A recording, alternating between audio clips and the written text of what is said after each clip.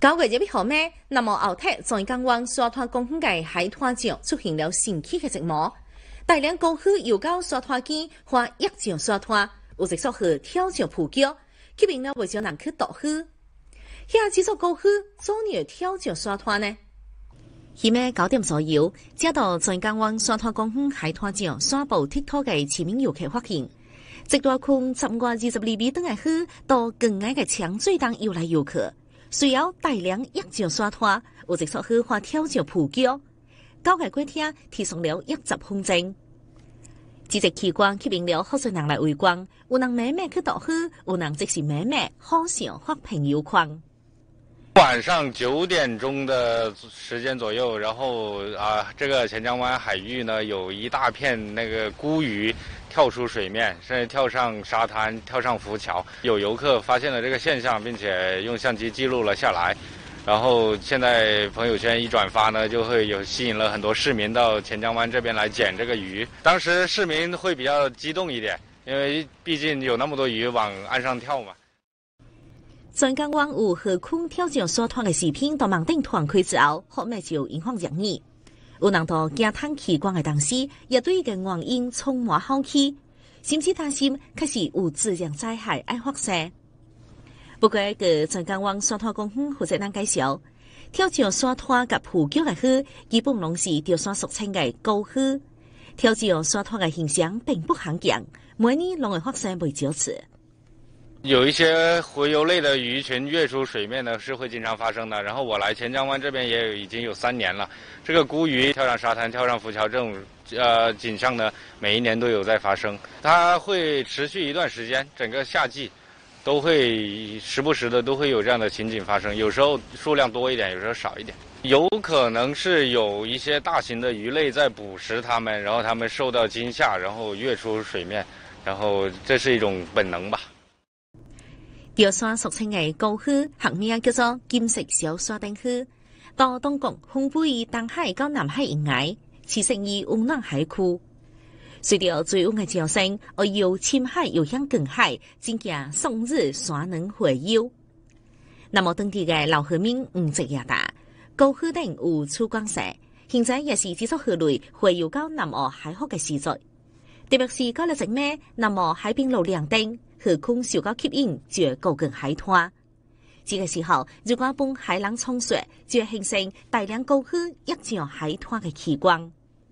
像如咱那天过正啊，一天气过好，一去去就只只扫开来，山很开嘛，如果硬个佢扫扫扫扫开来，长得长期诶，我老老边是经常经拖着咯。就高靴跳上沙滩的形象，此地震局也回答，经赛地震局装备样盘，目在创赛地震活动甲地球物理观测拢到正常范围，初步排除该形象甲地震活动有关联的可能性。另外，记者了解到，有关方面也就此落咗政治部嘅跟进黑车，到这个也提出嘅前面游客海边倒靴确实是爱入。但是为了健康甲安全，还是要多一份更新。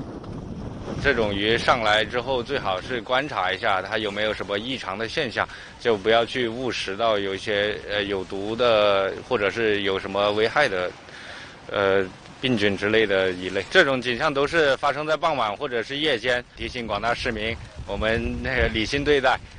然后有跳上来能捡到的，我们捡一下，不要到深水里面去去追逐它们。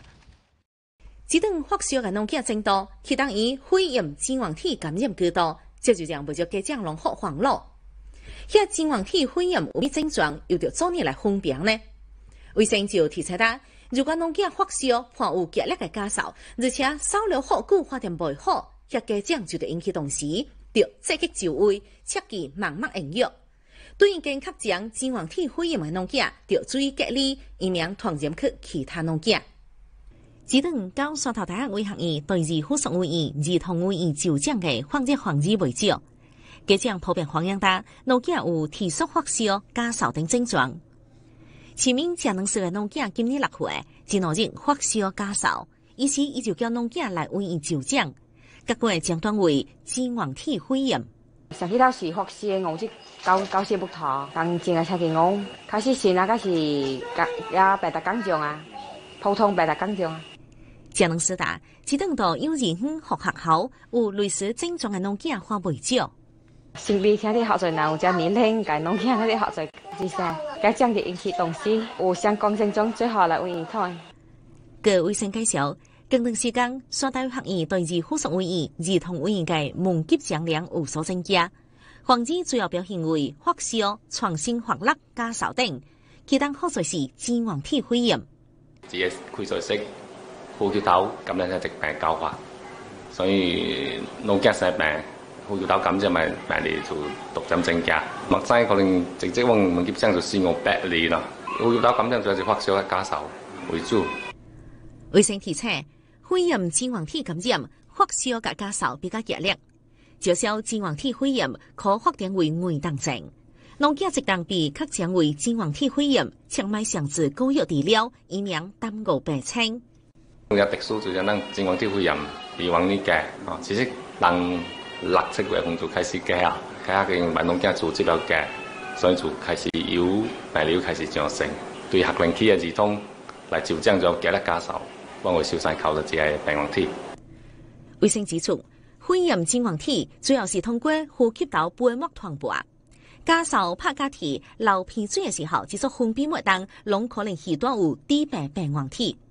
所以良好嘅生活习惯有助于预防感染。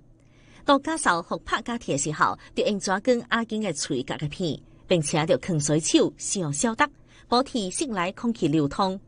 外出的时候，尽量咪去人往密集的场所，但是要避免熬夜，保证充足的睡眠。农家平时家庭体质当然也是非常重要，你体质好，伊可能就就说感染到，伊可能袂那要等啊，或需要加手非常激烈都要无咩贪埋，要么就好及时来个温热汤。北有秧歌，南有秧歌，即将举办嘅国庆大庆送友活动当，我此将组织一支一百零七人嘅秧歌队参加。全方位嘅典型，东发江舞嘅气势，独享潮汕人嘅正气心。最近为电影区嘅塔广相当喜态，高声好声交接。塔广英歌队嘅队王挥动舞腿，加紧排练。上水嘅农民队王只有十岁，虽然练习英国舞大家两个外月，但伊能舞起英国，当然好有力。我今年十岁，从暑假开始练的。以前在龙井看过，觉得很帅很好看，就想要参加试一下。这一次就是听说要去那个国庆那里，国庆表演，嗯，很高兴，因为我这是我第一次出去的。自己北康青人的队伍是马上话市参演男校最在的英国队。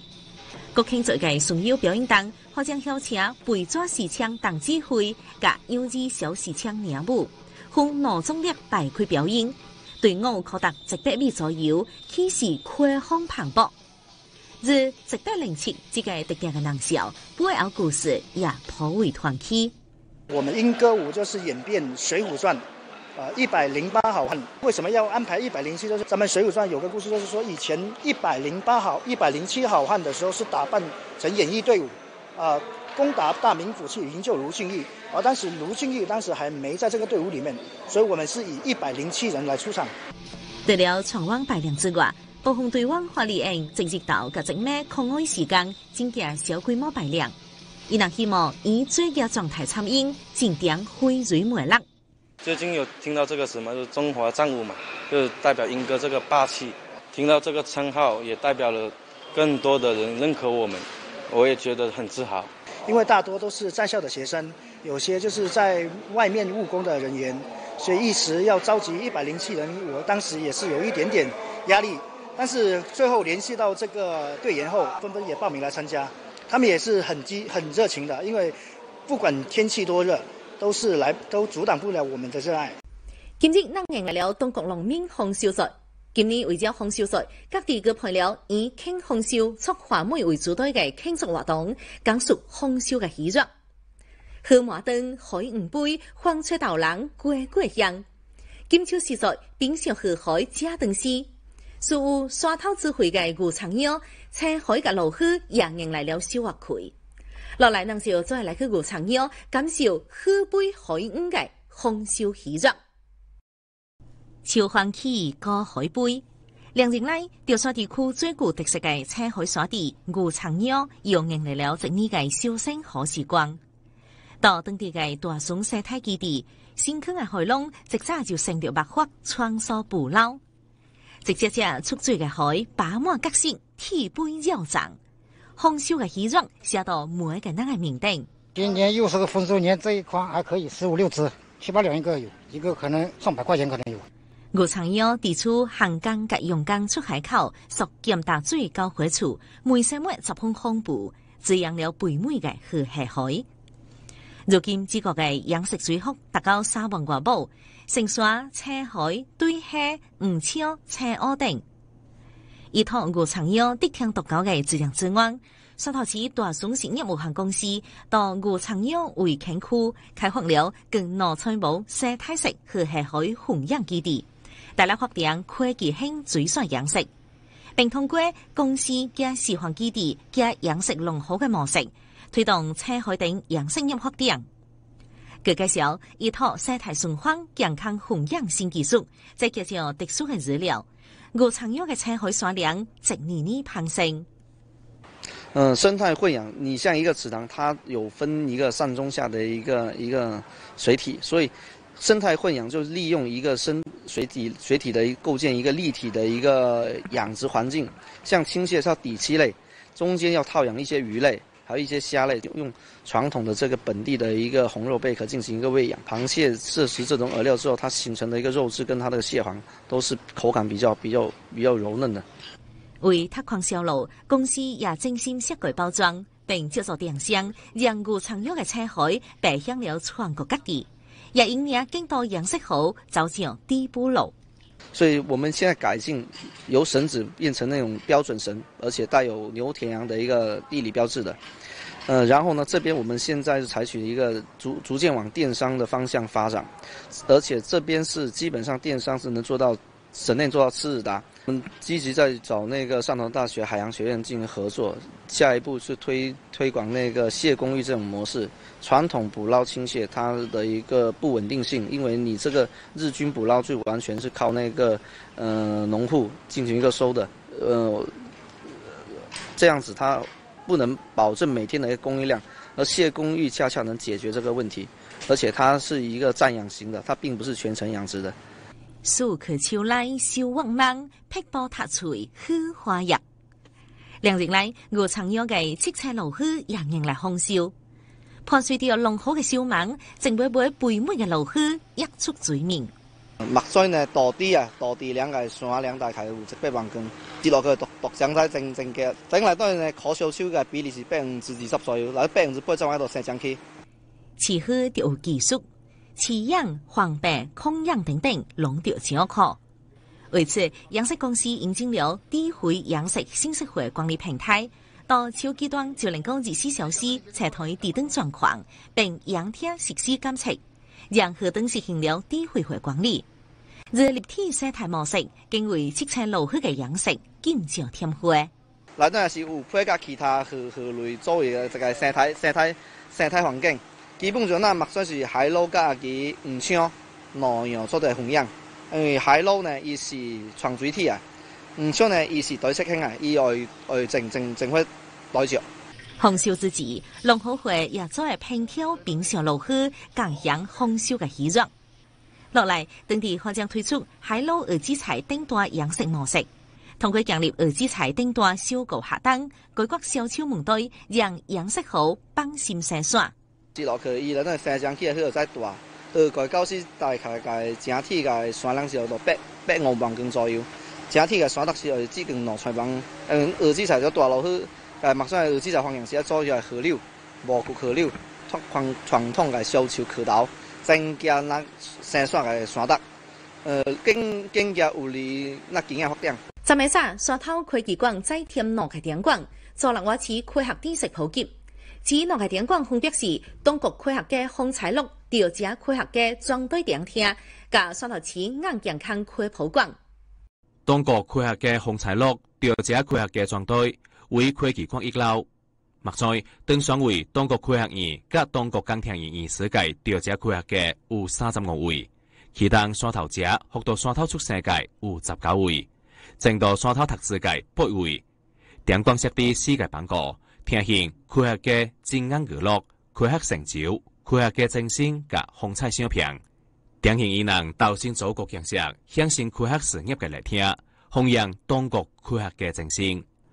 熠熠群星集中展现超级院士闪亮的群英相，报国心切，体现超级院士国家至上、刻苦攻关、科技报国的奉献精神，孜孜奋斗，截取若干个典型故事，介绍了超级院士追求真理、不懈探索的感人事迹。乡子情深则聚焦黄旭华、陈运泰、邱成桐。等科学家与家乡潮汕的互动，揭示了超级院士深厚真挚的国家情怀。山头市眼健康科普馆为科技馆二楼，通过开店更是防控科普双通电视甲免费视力检测，向市民群众普及更是防地知识，提高公众爱眼护眼的意识。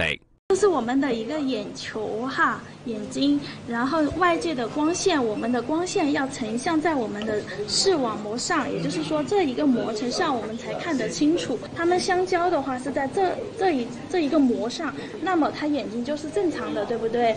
那如果是近视的一个状态是，它这个点，它是这个点成像在了视网膜之前。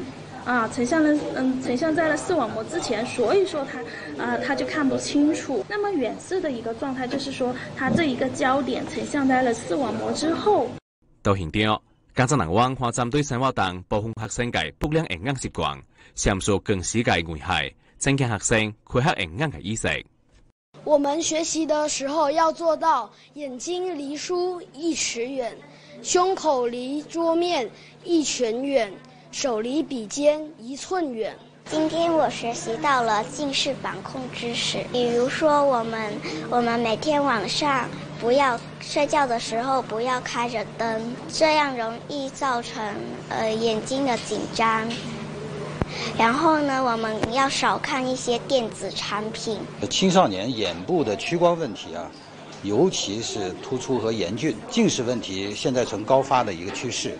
呃，还有呈低龄化的一个趋势。科普馆的建设呢，只是一个开始，作为一个契机和平台，去这个引起这个家庭啊、学校啊、呃青少年本人的重视。我们要继续开展眼健康的科普宣传，要普及近视防控的知识。我们要深入到学校去，呃，去做一个科普的一个宣传宣讲。科普广创通过，今年以来，汕头科技馆累计姿态参观者超十万人次。其当暑期姿态参观者挑五万人次。依故事推历史，一九四九年九月，山头改防在色，为了防止敌方敌部破坏，让南面解放军更顺利嘅激光征框。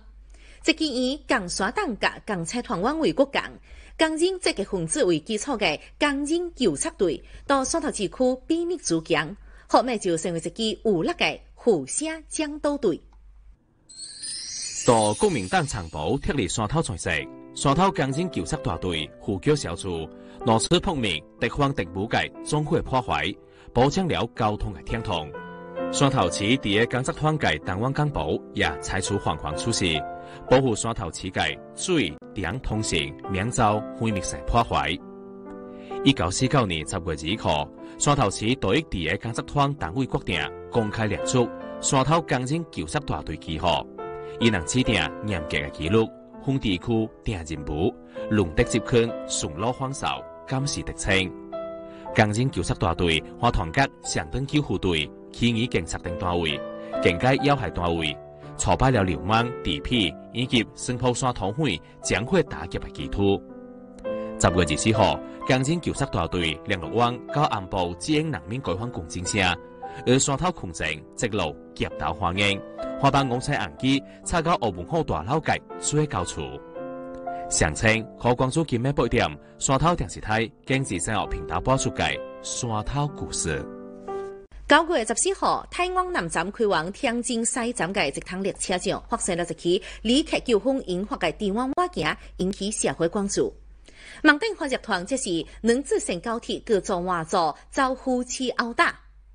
九月二十号，天津铁路公安处再度发布警情通报，披露案件衰杂甲处理结果，回应了网友关注嘅害手到底是家当防卫或是互殴等等嘅热点问题。根据通报，九月十四号嘅话，李克陈某某甲张某某以及走家张某三人从台湾南站上车，随后两岁李克聂某某发现，家己高厅嘅座位上坐着张某某。经沟通，张某某立即起身回到本人座位，也就是当摆高轨道嘅位置。到此期间，张某某无要求甲聂某某换座，无把座行位。十六点入九分，聂某某认为后座旅客陈某某大声打话，打扰伊休息，就从座位上站起来，转身甲陈某某发射节操，并互相指责。陈某某用手拍打聂某某嘅右臂。十六点十一分，聂某某用手机拍入对方，手机被陈某某拍落。十六点三十二分，陈某某用手回答聂某某，双方继日互相回答。到这个过程中，张某某有劝阻陈某某，甲抱紧聂某某双手嘅行为。乘警甲列车工作人员及时交掉劝告，并开展初步调查。列车到达天津西站之后，我行移交去天津西站派出所处理。经就位检测、详情鉴定，聂某某甲陈某某身体拢有不同程度嘅手抓伤风，拢不构成轻微伤。公安机关认定。陈某某嘅行为构成殴打他人嘅违法行为，依据电话管理处罚法，对陈某某处七日拘留，并处两百元罚款。张某某到肯做过铁档，有帮助陈某某殴打他人嘅行为，但情节较轻，处五百元罚款。聂某某殴打陈某某的违法行为，是到受到陈某某殴打后实施的，情节特别轻微。交往后能够主动认错。依据法规，对聂某某不予处罚。妻子动手摔拍人，将火拉偏的，结果即个被拘留，即个被罚款。若被拍之后还手嘅男子，即免而处罚。虽然警方最终认定双方嘅行为属于互殴，拢是违法，但至少嘅处理兼顾了法律嘅情理，也赢得了社会认可。害手是互殴或是家当防卫，着具体话件具体对待，用事实证据来说话。到本话当双方拢有错，当错也区分大罪甲轻重。双方拢有殴打他人嘅行为，当着区分地点摔动手，这无以符合社会朴素嘅价值观。无论如何，拍人唔对，摔动手更加唔对。所以我是能发是着哪者。